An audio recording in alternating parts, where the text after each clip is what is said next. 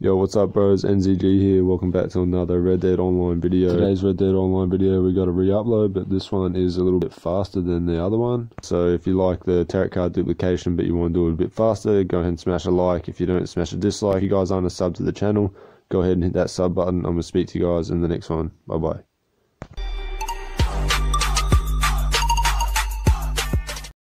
Yo, what's up, bros? NZG here. So, coming at you today with a tarot card duplication glitch. This one is pretty fast, actually. You need to have the Moonshine Role and all of the story missions complete for the Moonshine Role. At the time I recorded this video, there was a card at that location in the map, but you guys want to go over to my Red Dead Online community and you're going to need to get ready to join somebody twice and deny the alert from that community. Once you bros have done that, you're going to walk up to the card. Firstly, I'm going to show you bros that I have one page of Pentacles tarot cards.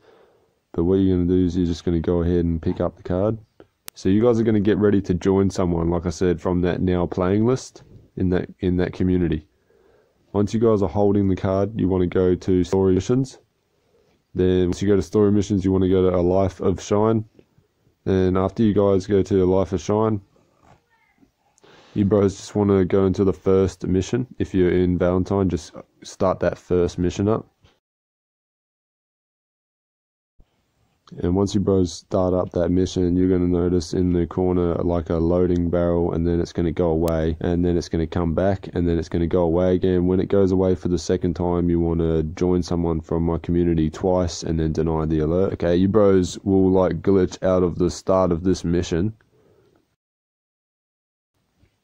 pretty quickly. You're just going to get a picture of these clouds here, and then you bros are literally going to spawn right back in the lobby and all you need to do from here is just obviously whistle for your horse and make your way back to that same tarot card. So you're going to spawn pretty close to it too, by the way, bros. But as you see, once we get back there, we do ha now have two page of Pentacles tarot card, and we can grab another one. So you just want to simply go ahead and pick it up and start the story mission again. Once you start the story mission, you're going to wait for the second loading barrel to disappear and then after that second loading barrel disappears, you're going to join a friend in the community twice and then deny the alert. So that's it, bros. I'm NZG. I'll catch you in the next video. Bye bye.